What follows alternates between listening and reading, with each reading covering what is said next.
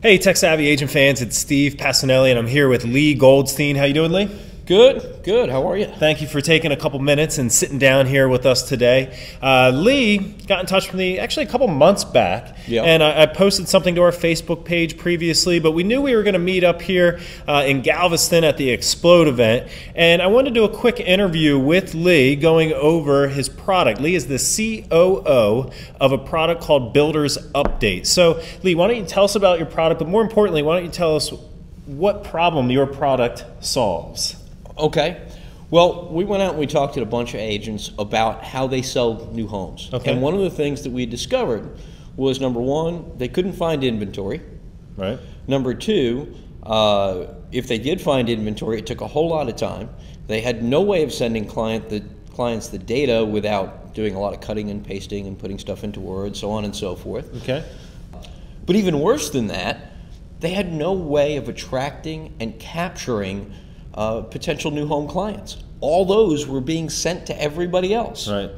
So what we did was we took almost the entire nation's new home inventory, we put it online, we made it accessible only to real estate agents, and we do check and verify licenses. Okay. Uh, we made it free to the agents. It's map searchable, so it looks and feels like an MLS. They can use all kinds of search criteria. Yeah, and it, it, it is pretty extensive. What you showed me was was quite impressive with the map search. Thank you. Yeah, I did I did enjoy it, and I'm pretty sure most consumers are going to like looking through it as well. Yeah, and we did some neat stuff uh, specifically for the agent, how they interact with the consumers.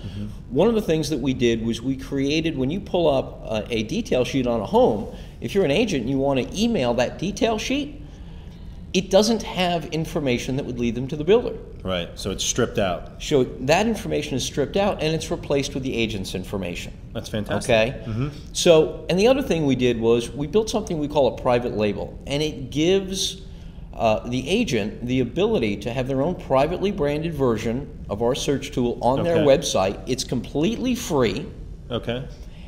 and somebody visiting their website can look at all the inventory, but they can't see information that would lead them to the builder. Instead, they're always sent back to the agent. Builder's Update is all about helping agents sell new homes. So what? So what's the downside? is there a downside? Because I, don't see one. A free a free search engine that allows consumers to search for new homes that an agent can put on their website for free. If they have multiple websites, they can put it on unlimited Put sites. it on right? all, all they want. Uh, so so there is no. No, there is no downside. Absolutely. We just need every agent in the country to be using this thing. It's right. free to them. It So will where do they go? be free to them. They go to www.buildersupdate.com Okay. uh, and they can see a little video, go through a little mini registration. Okay. They'll be sent a, a verification email. They just click on that. They'll finish out their registration. All right. Uh, included in that is to verify that their license is good. We, we automate that process and And that's hop it. on, start searching, and, and sell some new homes.